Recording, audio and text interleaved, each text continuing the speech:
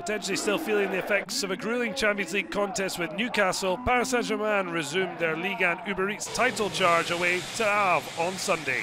Camera Waters at home after six straight league wins.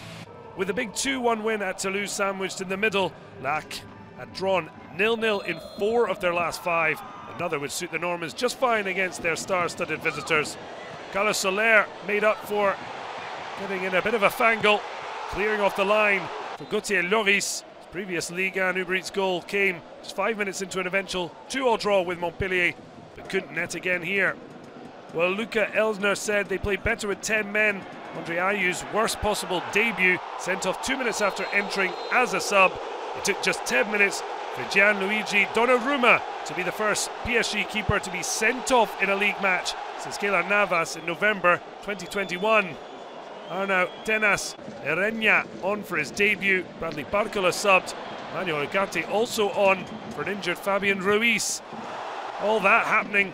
Kylian Mbappe so close to scoring against the 30th different team in Ligue 1 Uber Eats.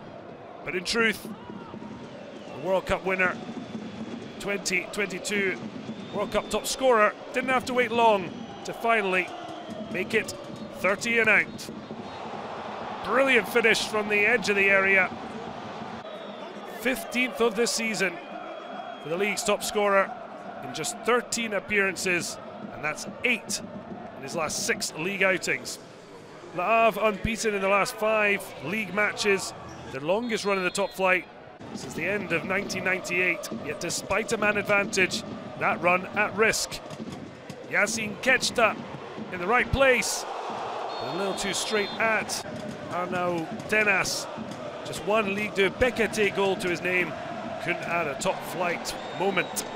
PSG aiming for a seventh straight win. It'll be the first time since May, September 2021. Ousmane Dembele was not far from the bottom corner.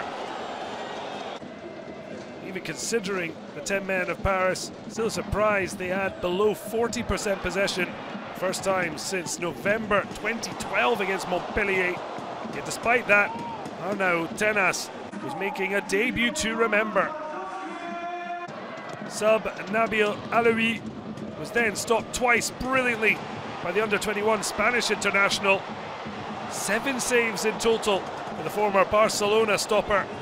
The best performance from a goalkeeper making his first top-flight appearance since Mory Diaw for Clermont against PSG. And then the champions wrapped up a hard-fought victory. With just a minute left of the 90, Vitinha's strike deflected, looping in. A fourth goal of the season for the Portuguese international. That's as many as his last two league campaigns with Porto and PSG. Despite the early sending off of Donnarumma, the champions' seventh straight league win sees them stretch to four points clear at the top. Havre in 10th after a first loss in six.